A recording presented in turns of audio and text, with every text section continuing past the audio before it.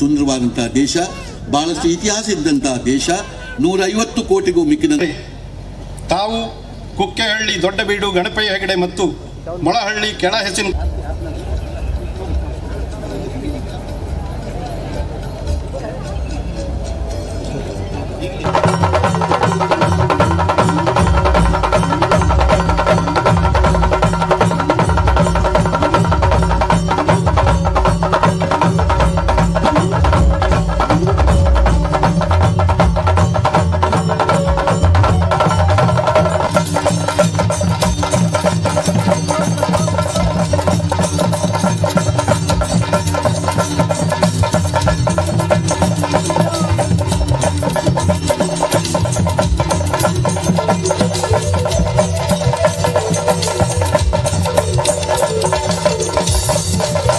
ಮಾನಕ್ಕೆ ಸಾಕ್ಷಿಯಾಗ್ತಾ ಇದ್ದೇವೆ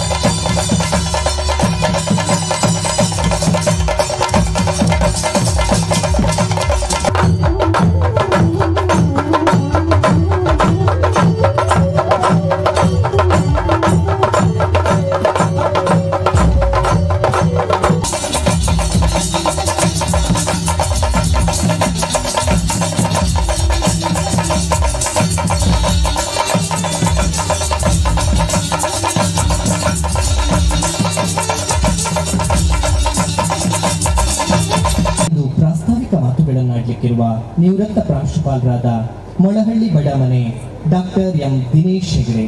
ಇವರೆಲ್ಲರನ್ನ ಸಭಾ ವೇದಿಕೆಗೆ ಕರೆತರುವಂತೆ ವಿನಂತಿ ವಿಚಾರವನ್ನು ಮಾಡಿಕೊಂಡು ಸುಂದರವಾದಂಥ ಹೃದಯದಲ್ಲಿ ಹೃದಯವಂತಿಕೆಯನ್ನು ತುಂಬೆ ಮತ್ತು ಸುಂದರವಾದಂಥ ಒಂದು ಮನಸ್ಸನ್ನು ನಮಗೆ ಕೊಟ್ಟಿದ್ದಾರೆ.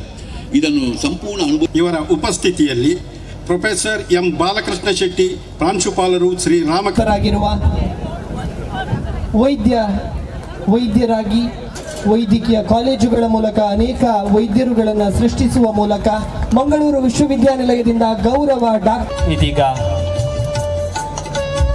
ಸುಮಂಗಲೆಯರು.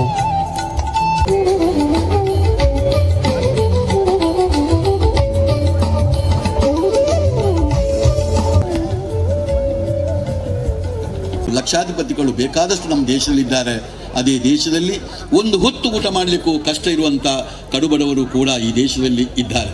ಅದೇ ರೀತಿ ಒಂದು ವಿದ್ಯೆಯನ್ನು ತೆಗೆದು ನೋಡಿದರೆ ಬಹಳಷ್ಟು U G P G P H D ಪದವಿ ಪಡೆದಂಥ ಬಹಳಷ್ಟು ವಿದ್ಯಾವಂತರಿದ್ದಾರೆ. ಅದೇ ದೇಶದಲ್ಲಿ ಒಂದು ಅಕ್ಷರವನ್ನು ಓದಲಿಕ್ಕೆ ಸಾಧ್ಯ ಆಗದಂಥ ಒಂದು ಅಕ್ಷರವನ್ನು ಬರಲಿಕ್ಕೆ ಸಾಧ್ಯ ಆಗದಂಥ ಒಂದು ಅನರಕ್ಷಿತರು ಈ ದೇಶದಲ್ಲಿದ್ದಾರೆ. ಅದೇ ರೀತಿ ನೋಡಿದರೆ ಆರೋಗ್ಯವನ್ನು ತೆಗೆದು ನೋಡಿದ್ರು ಇದೇ ರೀತಿ ಇದೆ. ಇಡೀ ನಮ್ಮ ಬದುಕಿನಲ್ಲಿ ನೂರು ಕಾಲ ಬದುಕುವ ಆರೋಗ್ಯವನ್ನು ಸಕ್ಕಬಗಾಲಿ ಇಡುಕೊಳ್ಳುವಂಥ ಜನರು ಇದ್ದಾರೆ. ಆರೋಗ್ಯದ ಬಗ್ಗೆ ನಿರ್ಲಕ್ಷ್ಯವನ್ನು ತೋರಿಸುವಂಥ ಜನರು ಇಲ್ಲಿದ್ದಾರೆ. ಹೀಗಿರುವಂಥ ಈ ದೇಶದಲ್ಲಿ ಇವತ್ತು ನಮಗೆ ಸರಿಯಾದ ಹೃದಯವಂತಿಗಿದ್ದರೆ, ಸರಿಯಾದ ಮನಸ್ಸಿದ್ದರೆ, ಸರಿಯಾದ ಸಂಪತ್ತು ನಮ್ಮಲ್ಲಿ ಇದ್ದರೆ ಖಂಡಿತ ಈ ದೇಶದಲ್ಲಿ ಬೇಕಾದಷ್ಟು ಕೆಲಸಗಳನ್ನು ನಾವು ಈ ಸಮಾಜಕ್ಕೆ ಮಾಡಲಿಕ್ಕೆ ಸಾಧ್ಯ. ಆದ್ದರಿಂದ ಸಮಾಜದ ಕರಿಕ, ಪರಿಕಲ್ಪನೆಯನ್ನು ನಾವು ಎಂದೂ ಬಿಡಬಾರ್ದು. ಅದರ ಜೊತೆ ಇವತ್ತು ಮೌಲ್ಯಾಧಾರಿತವಂಥ ಬದುಕನ್ನು ಮಾಡಬೇಕು. ಸಮಾಜ ಅಂತ ಜಾತಿಗೆ ಜಾತಿಗನುಗುಣವಾಗಿ ಅಥವಾ ನಮ್ಮ ಧರ್ಮಕ್ಕೆ ಅನುಗುಣವಾಗಿರುವಂತಹ ಸಮಾಜ ಅಲ್ಲ, ಇದೆಲ್ಲವೂ ಸೇರಿ. ಈ ಮಾದರಿಯ ವ್ಯಕ್ತಿಗಳು ಮಾಡಿರುವ ಸಾಹಸ, ಅದನ್ನೇ ನಾವು ಭಗೀರಥ ಸಾಹಸ ಎಂದು ಕರೀತೇವೆ. ಯಾರು ತುಳಿಯದ ದಾರಿಯನ್ನು, ಯಾರು ತಿಳಿಯದ ದಾರಿಯನ್ನು, ತಿಳಿದು ತುಳಿ, ತುಳಿದು ಹೊರ, ಹೊರಡುವವನೇ ನಿಜವಾದ ಸಾಹಸ. ಅನೇಕ ಇಂಥ ಸಾಹಸ ಮಾಡಿದಂಥ ವ್ಯಕ್ತಿಗಳು ನಮ್ಮ ನಾಡಿನಲ್ಲಿ, ನಮ್ಮ ರಾಜ್ಯದಲ್ಲಿ, ದೇಶದಲ್ಲಿ ಬೇಕಾದಷ್ಟು ಸಿಗ್ತಾರೆ.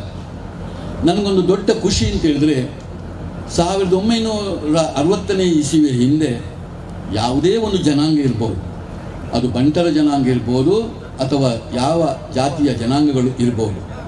ಅವರೆಲ್ಲ ಸಾಧಕರನ್ನು ಕನಸಿದರೆ ಒಂದು ಬೆರಳೆಣಿಕೆಯ ಸಾಧಕರು ಆ ಕಾಲದಲ್ಲಿ ಇದ್ದರು ಆದರೆ ಈಗ ನಾವು ಗಮನಿಸಿದರೆ ಎಲ್ಲ ಸಮಾಜದಲ್ಲೂ ಕೂಡ ಬೇರೆ ಬೇರೆ ಜನಾಂಗದ ಗಮನಿಸಿದರೆ ಬಹಳಷ್ಟು ಸಾಧಕರನ್ನು ನಾವು ಕಾಣ್ತಾ ಇದ್ದೇವೆ. ನಮ್ಮ ಒಂದು ಬಂಟರ ಜನಾಂಗವನ್ನೇ ತೆಗೆದು ನೋಡಿದರೆ ಇವತ್ತು ಇಡೀ ನಮ್ಮ ಈ ಅವಿಭಜಿತ ಜಿಲ್ಲೆಯಲ್ಲಿ ಇರ್ಬೋದು ಒಬ್ಬೊಬ್ಬರನ್ನು ತೆಗೆದು ನಾವು ನೋಡಿದರೆ ಇವತ್ತು ಒಂದೊಂದು ರಾಮಾಯಣ, ಮಹಾಭಾರತ ಬರೆಯುವಷ್ಟು ಅವರ ಇಡೀ ಬೆಳೆದು ಬಂದಂಥ ರೀತಿ ಇದೆ. ಇದನ್ನು ನಾವು ಎಷ್ಟು ಶೂನ್ಯನಿಂದ ಅವರು ಎದ್ದು ಯಾವ ರೀತಿ ಏರು ಪೇರುಗಳನ್ನು ಗಮನಿಸಿಕೊಂಡು ನಮ್ಮ ಅವಿಭಕ್ತ ದಕ್ಷಿಣ ಜಿಲ್ಲೆಗೆ ಕೊಟ್ಟಂತಹ ವಿಶಾಲ ಮನೋಭಾವದಿಂದ, ಹೋರಾಟ ಮನೋಭಾವದಿಂದ ತನ್ನ ಬದುಕನ್ನು ಕಟ್ಟುತ್ತಾ ಕಟ್ಟುತ್ತಾ, ಒಂದು ಮೌಲ್ಯಾಧಾರಿತವಾದಂತಹ ಬದುಕನ್ನು ಮಾಡುತ್ತಾ ಮಾಡುತ್ತಾ, ಒಂದು ಸಮಾಜದ ದೃಷ್ಟಿಯಲ್ಲಿ ಇವತ್ತು ಇಡೀಯವರು ಮಾಡುವ ಕೆಲಸಗಳನ್ನು ನಾವು ಬೇಕಾದಷ್ಟು ಗಮನಿಸಿದ್ದೇವೆ. ಅದು ಯಾವ ವೃತ್ತಿಯಲ್ಲೂ ಇರಬಹುದು ಬೇರೆ ಬೇರೆ ನಮ್ಮ ಆಯಾಮದಲ್ಲಿ ಆಲೋಚನೆ ಮಾಡಿದರೆ ನಿಮಗೆ ಗೊತ್ತಾಗ್ತದೆ.